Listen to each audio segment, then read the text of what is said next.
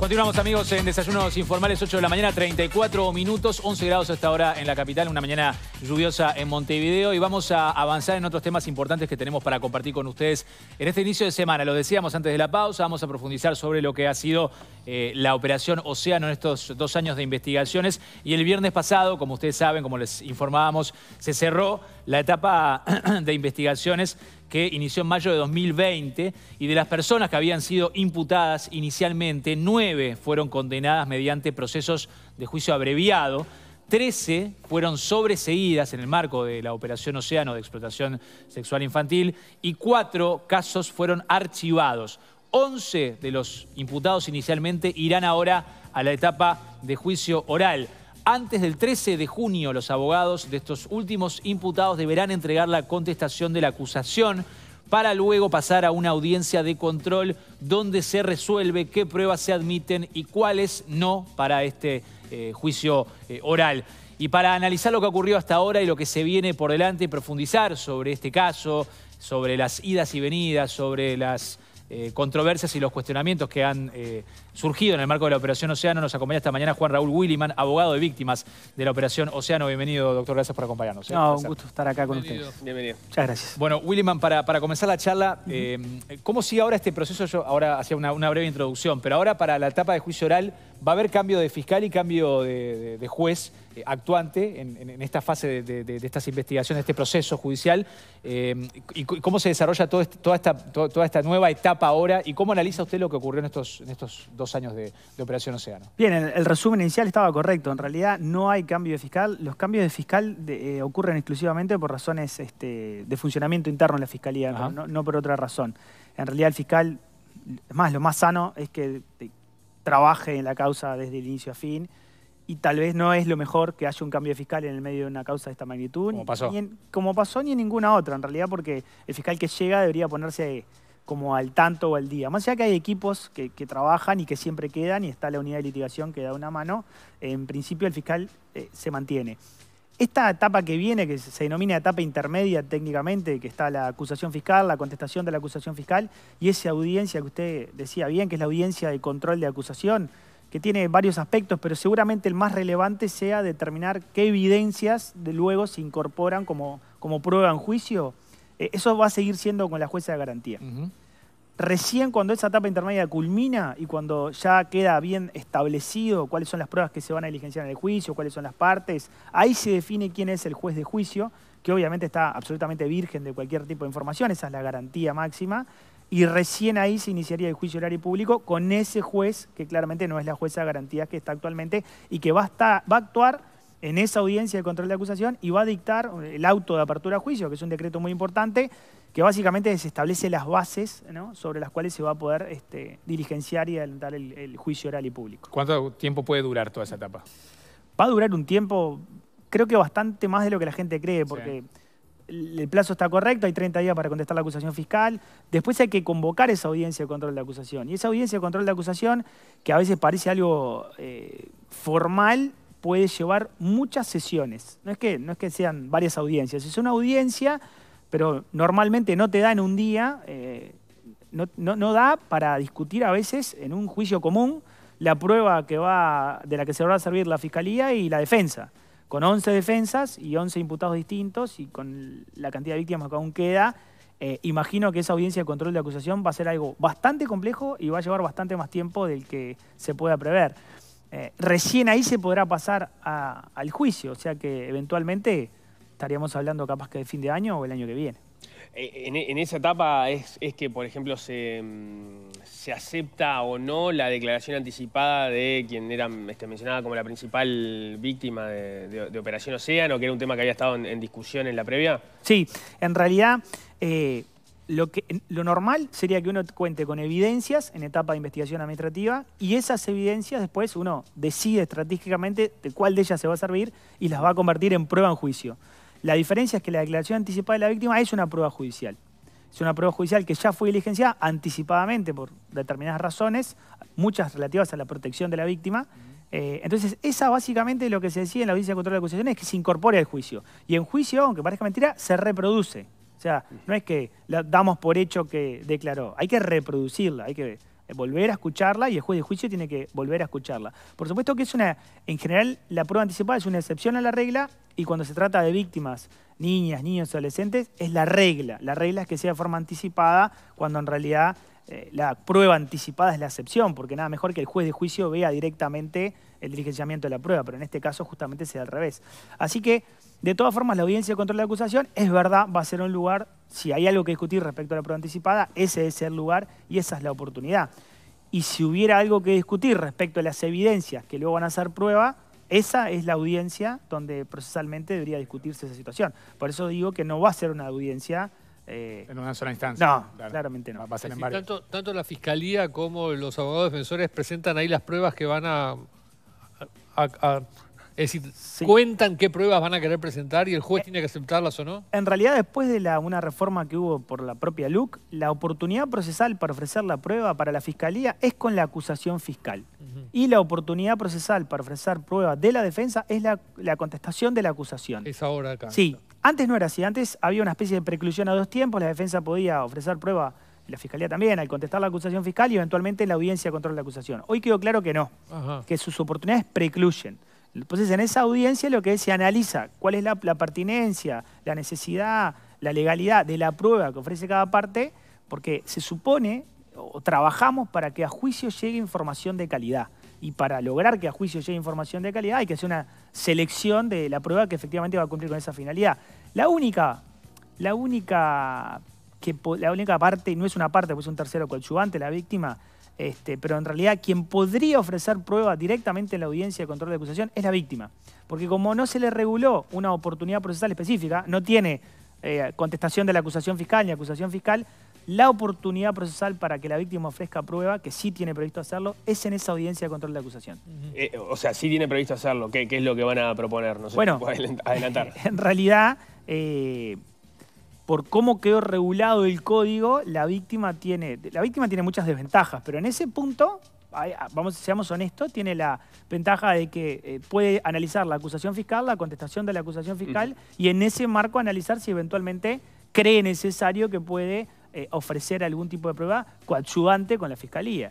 De hecho, este, yo mismo, aún defendiendo víctimas, admito que desde el punto de vista procesal tal vez no sea la mejor solución, pero eso es un problema de diseño del legislador que extrañamente reguló la facultad de la víctima de ofrecer prueba, pero nunca reguló una oportunidad procesal específica que, adelanto, debió hacerlo. Entonces, como no lo hizo, básicamente doctrina y, los jueces, jurisprudencia, admiten que la oportunidad probatoria sea la audiencia de control de acusación. O sea, después de contar con la información que brindan los fiscales, digamos, en este caso. Sí, exacto. Y la defensa. Y la defensa de, los este, imputados. Y la defensa, sí. De hecho, el legislador debió prever, es una opinión personal, pero debió prever una oportunidad de traslado a la víctima y que una oportunidad específica y que todos llegaran a esa audiencia de control de acusación con la prueba ya ofrecida. condiciones, claro.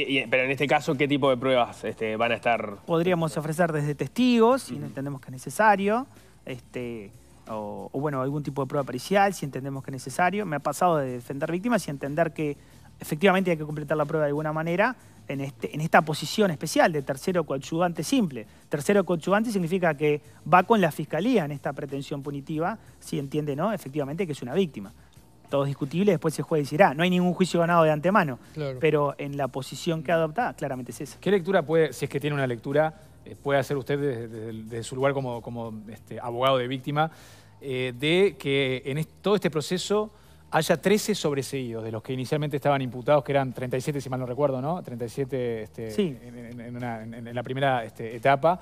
Eh, porque uno puede pensar a priori que, que es un número importante de sobreseídos en un juicio que tuvo tanta este, trascendencia pública, que duró tanto tiempo, que generó tanta repercusión, no solo a nivel judicial, sino este, político, y eh, que bueno, que en el caso de los sobreseídos uno puede pensar, bueno, estuvieron dos años este, eh, involucrados en, todo este, en todos estos, todas estas investigaciones y episodios, y eso obviamente en, su vida personal, laboral, profesional, familiar los, los, ha afectado y hemos tenido casos ahora este, conocidos en, las últimas semanas, ¿no? ¿Ustedes cómo lo evalúan esto? Sí, claramente.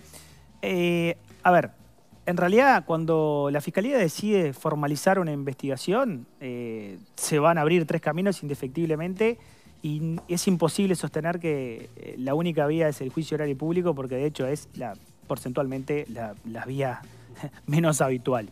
Lo habitual es que esto termine en un proceso abreviado o eventualmente eh, en un pedido de sobreseimiento que podría llegar a suceder.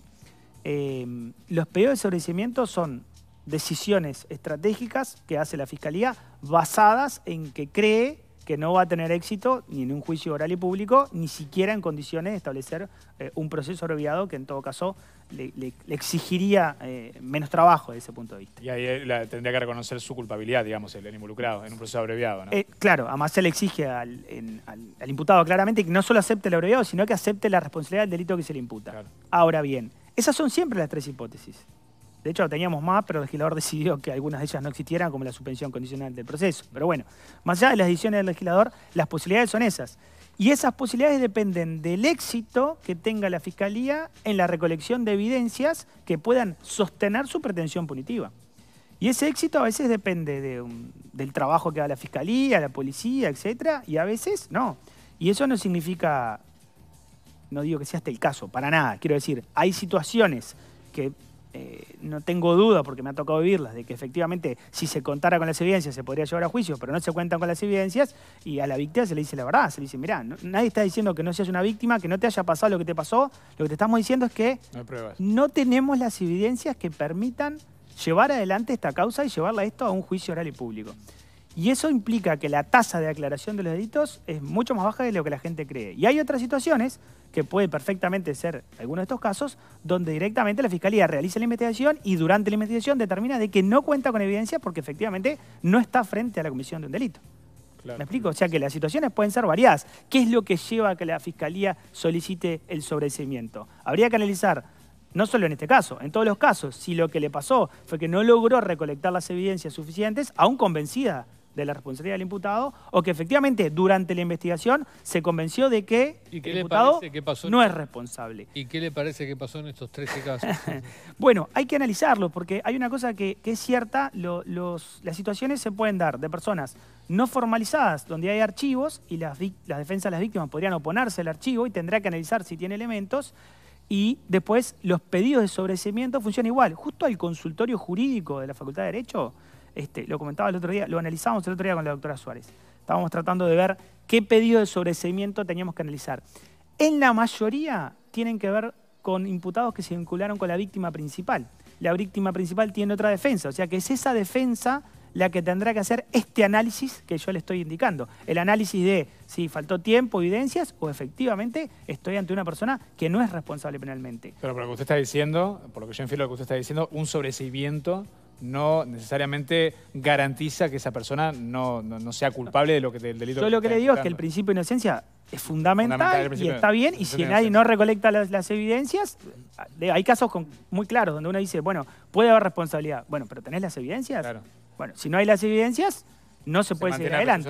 Ahora, sobre, ese punto algo que me llamó la atención es que em, algunos abogados este, de, la defensa de los imputados recibieron la propuesta de fiscalía de acuerdos abreviados, la, defensa los rechazó y después terminaron siendo sobreseídos. O sea, la fiscalía entendía que no tenía evidencias para, este, para llevarlos a juicio, pero, igual les ofreció un acuerdo y, cuando dijeron que no, los, dejaron libres. Bueno, pero en todo caso, Nicolás, esa observación lo que te puede dar cuenta es que estas dos hipótesis que yo estoy manejando a la fiscalía le pasó. Porque si no, ¿qué explicación posible, racional, seria y lógico para sostener, te ofrezco un acuerdo abreviado? Porque si te ofrece un acuerdo abreviado, será que en su íntima convicción cree que sos responsable. Pero cuando tuvo que analizar si tenía las evidencias para irse a un juicio, no las tenía. Entonces, repito, en la vida se dan las dos situaciones. Hago la investigación y me convenzo, esta persona es inocente. Ahora, termina y pido el sobreseimiento. termina siendo como jugar al truco, ¿no? Porque yo te, digo, o sea, te, digo que te canto truco, pero en realidad no tengo las cartas. bueno, eh, para eso quién está. para eso quién está. Para eso la defensa técnica, la cual defendemos de, todos los aspectos, de la academia, del Colegio de Abogados Uruguay, la defensa técnica pasa a ser la garantía fundamental. Porque en este lado estoy trabajando para el consultorio y me toca defender a las víctimas. Si me toca hacerlo particular para un imputado, ¿dónde está la garantía? En que es el técnico el que va a analizar con qué evidencias cuenta la Fiscalía para llevarme a juicio y que le va a aconsejar de la mejor manera posible a su cliente, no, mira, no hagas un abreviado porque eh, las chances de, de- en juicio de la fiscalía son bajas, ¿no? Plantate donde estás. O, por el contrario, con la misma solvencia técnica le dirá, mira, analicé la carpeta fiscal. Ahora- analicé la carpeta fiscal y la verdad que estás complicado, las evidencias son fuertes, hay grandes chances de perder el juicio, te conviene mucho más negociar una brevedad y rebajar la pena. El proceso abreviado puede ser como una alternativa para la fiscalía también, en, ca- en caso de que no cuente con las evidencias por esto que estábamos mencionando antes. O, o eventualmente cuenta las evidencias, pero el, el- el desgaste humano, material y de recursos logísticos de llevar a juicio, a veces la, la decisión del, del abreviado para la fiscalía tiene que ver más con, Con eso. con, con lo que implica ir a juicio y, y obtiene una condena muy parecida sin todo ese Mm. este, despliegue de recursos humanos, materiales y logísticos. No solo para la fiscalía, también para el Poder Judicial. Ahora, en, en el Código Viejo, cuando alguien era procesado, creo que estaba muy... Este, la ciudadanía ya conocía que era simplemente el inicio del proceso y que no, no significaba una, una decisión de que era culpable la persona, había que esperar a que hubiera una sentencia. Sin duda. Con el Código Nuevo me da la impresión de que para mucha más gente, en, en- en la confusión de que es un código nuevo, que la gente no conoce cómo funciona, la imputación, es decir, la formalización de la investigación, para mucha gente se transformó casi que en una, eh, ahí como una sentencia anticipada. Sí, Y debería ser al revés, Eh, porque en realidad en el código viejo había que tener semiplena prueba. Había que tener semiplena prueba y era prueba judicial y los, las estadísticas indicaban que el 90 y pico por ciento altísimo de personas procesadas terminaban condenadas. En este sistema, el estándar exigido para formalizar a alguien es, Es menor. muchísimo más bajo. Ajá. Es elementos objetivos que den cuenta de la existencia del delito y la participación del imputado. Entonces tenemos un estándar mucho más bajo, un estándar mucho más bajo, y tal vez otro error de diseño debe ser las consecuencias de la formalización, porque en los sistemas acusatorios en general, en general, no digo que sea siempre, pero en general, la formalización, porque incluso la gente confunde y cree que se formaliza la persona, no. No, se va. formaliza la, La investigación. investigación. O sea que, en general, debería ser una mera comunicación formal que se hace ante el juez de que te estoy investigando, con una garantía fundamental. Mientras te investigo sin formalizar, no tiene plazo, lo cual no es muy garantista. O sea, que yo te investigue sin plazo. Y en el momento en que se formaliza la investigación y se le imputa un delito a la persona, a partir de ahí empieza a correr un plazo. Plazo que arroja este resultado. O me llevas a juicio oral y público, o negocias conmigo un abreviado, O o me pedís el sobreseimiento. Claro. Y el sobreseimiento tiene consecuencias bastante más positivas para el imputado que el simple archivo. Porque el archivo va a ser siempre sin perjuicio, sin perjuicio de que otro elemento probatorio salga y yo te siga investigando. Si eso sobreseído ya no se puede. Imposible, porque sería un non bis in idem, no dos veces por el mismo hecho. Claro. Entonces, en realidad, lo que habría que analizar es si las consecuencias de la formalización son, en definitiva, lo que deberían ser, o, o es otro error de diseño que habría que mejorar y determinar, bueno, establezcamos cuáles son las consecuencias de la formalización. ¿La formalización es un procesamiento del Código del 80? No, tal vez la formalización es otra cosa. Es realmente la, comunicación- la comunicación formal de la investigación. Ahora, si yo te hago un prontuario, te pongo con antecedentes, ¿no? O sea, si yo eh, completo esa formalización con otras cuestiones bastante más parecidas al procesamiento, y sí, la gente va a tener la sensación de que la formalización es poco menos que la condena. De hecho, la gente a veces Bueno. se queja y dice, fue formalizado y le dieron solo 180 días. No, Son esa es la preventiva. no le dieron nada. Claro. Es una medida cautelar basada en razones cautelares. Tendrá una condena que corresponda una vez que eh, la fiscalía cumpla con su carga. Ahí, ya- ahí está la confusión, me parece, con el viejo código que era, antes era procesa- procesado con prisión, procesado sin prisión. Y es la determinante. Porque Claro. básicamente. eh, Y ahora porque- es te distinto. voy a, te voy a- déjame hacer esta aclaración Sí, que sí, me viene favor, perfecto. por favor. En el, en el anterior sistema no es que no se negociaba, porque cuando vos te defendías a un imputado, lo procesaban con prisión y eso era escarcelable, Mm. vos empezabas a reunirte con la fiscalía diciéndole por a ver cuándo le parecía que tramitabas el incidente escarcelatorio y te decían, ahora no, porque recién lo procesé un mes, no, pero Claro. capaz que venía el que viene y el fiscal que tenía en la cabeza. Y tenía una pena ideal y en un momento cuando vos ibas a reunir te decía, hablabas con el juez también, te decía, no, yo contra vista fiscal no voy a dar libertades, hablalo con el fiscal. ¿Y eso a qué se parece? A El toda esta negociación. ¿Te parece el abreviado? Vivíamos negociando hasta que el fiscal decía, sí, está bien, pedí ahora que tenés razón. Ya pasaron seis meses. Bueno, eso es lo que tenía en la cabeza, el fiscal. Entonces ahí pedías, tramitabas el incidente escarcelatorio, pedías libertad provisional y el juez, sí, como no tenía una vista fiscal en contra, te hacía lugar a libertad provisional. Y eso y esa mucho. persona, claro, y esa persona ya no volvía a la cárcel, porque ahí operaban otros institutos, fundamentalmente la libertad condicional, que hacía que cuando caía sentencia ejecutoria la persona estaba libre, ya no volvía. Entonces se puede decir que ahora hay, un- hay como un uso excesivo del abreviado, como se ha dicho, o no.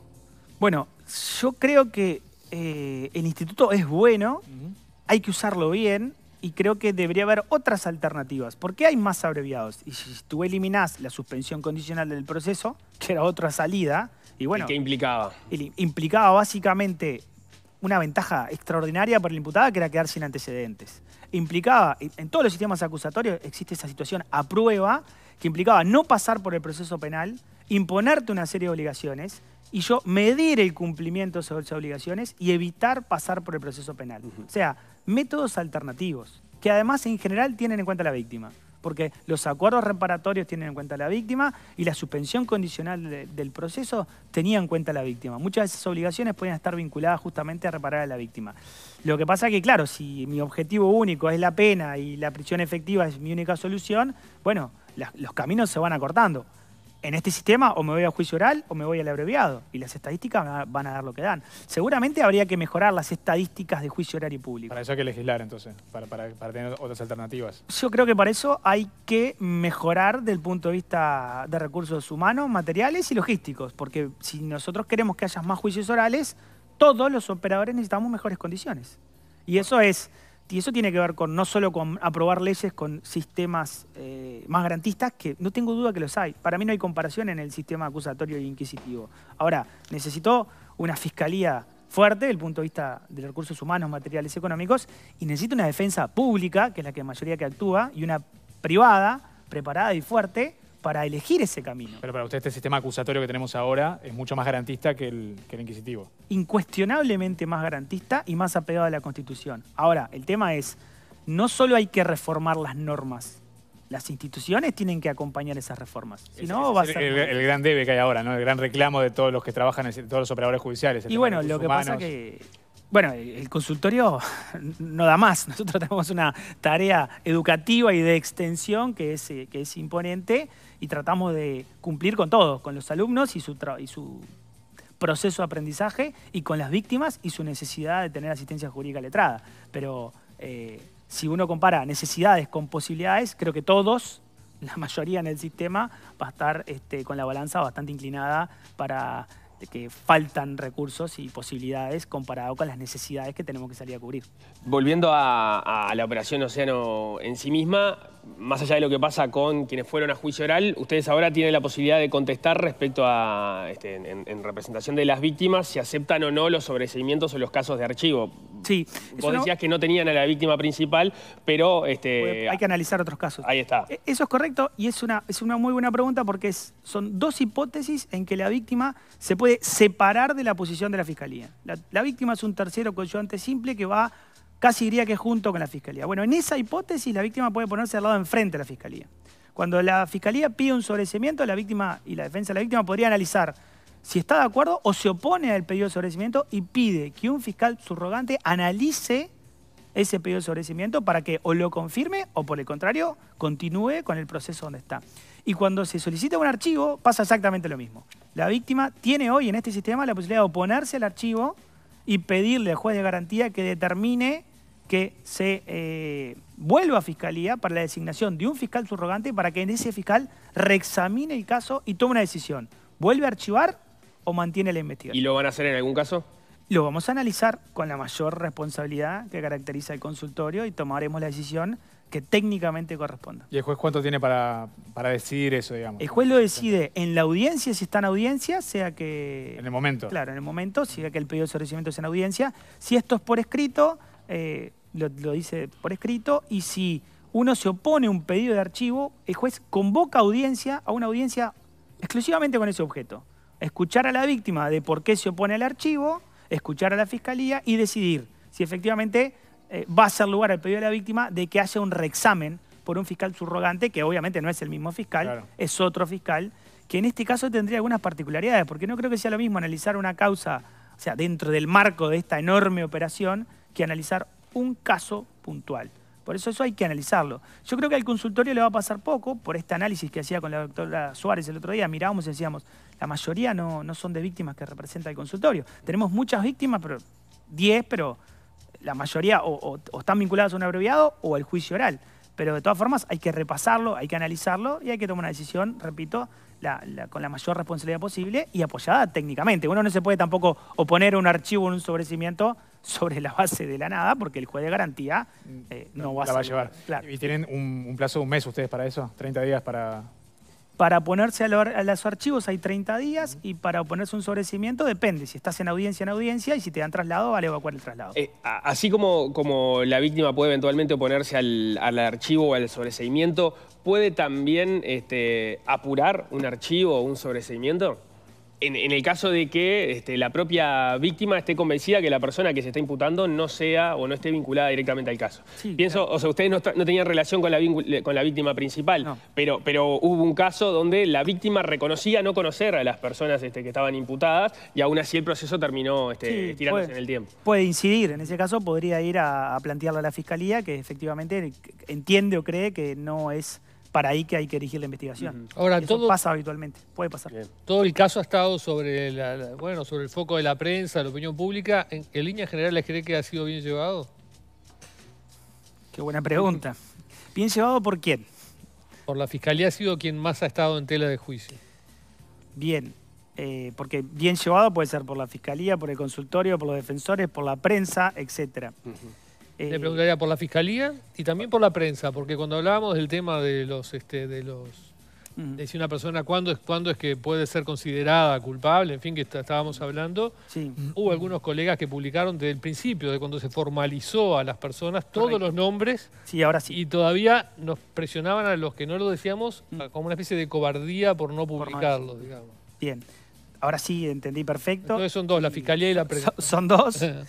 eh, es, innegable que la, que la Fiscalía cometió algunos errores que eran evitables, pero también tengo que decir que no trajo ninguna consecuencia. Es decir, ninguna de las nulidades planteadas por la defensa de los imputados prosperó, ni en el juez de primera instancia ni en el Tribunal de Apelaciones.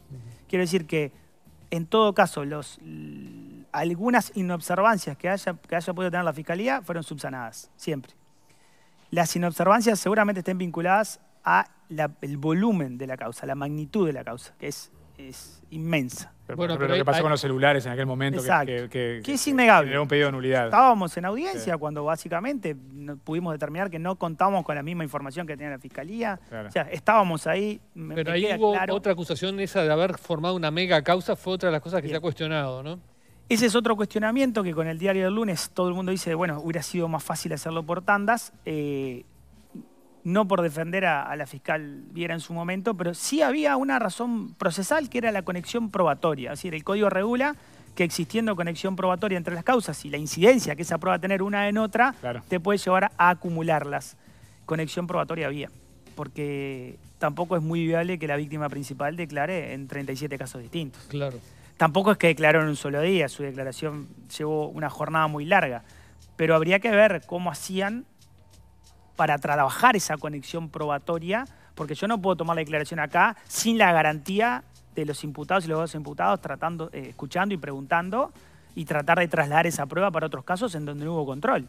O sea que ahí había un problema logístico que no es de fácil solución y había que tomar una decisión.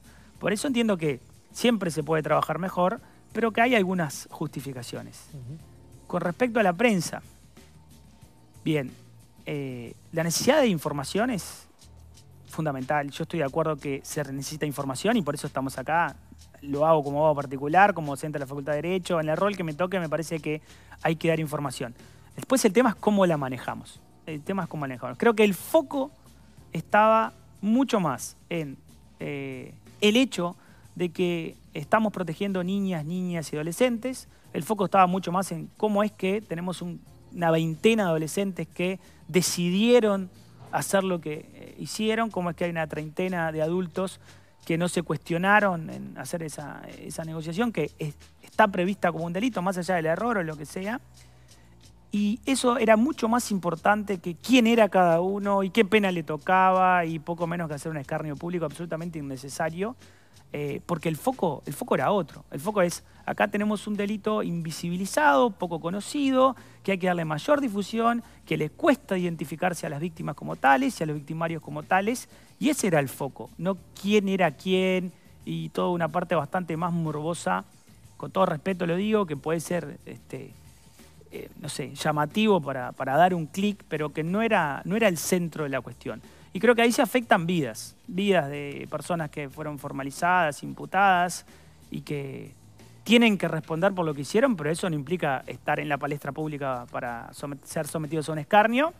Y vidas de víctimas que tenían un estado emocional de absoluta vulnerabilidad, que tampoco tienen por qué soportar esa discusión mediática y ser tratadas como fueron tratadas de esto o de lo otro, porque obviamente eso tampoco hace nada bien.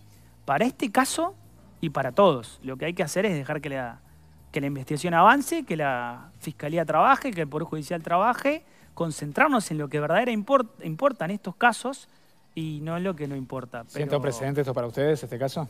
Sí, siento. ¿Cómo, de cómo se actuó, de cómo se trabajó? Sí, sienta así. Y siento un precedente en la temática. Eh, yo creo que más allá de algunas campañas puntuales de UNICEF donde trabajamos estos temas, me ha tocado a mí en cursos, charlas, jornadas con, UNICEF mismo, eh, tampoco había visto que en Uruguay el tema tuviera tanta importancia como tiene a partir de ahora. Creo que hay una luz de alarma que se le prendió a todo el mundo con este tema y que antes no existía y creo que esa es la parte buena.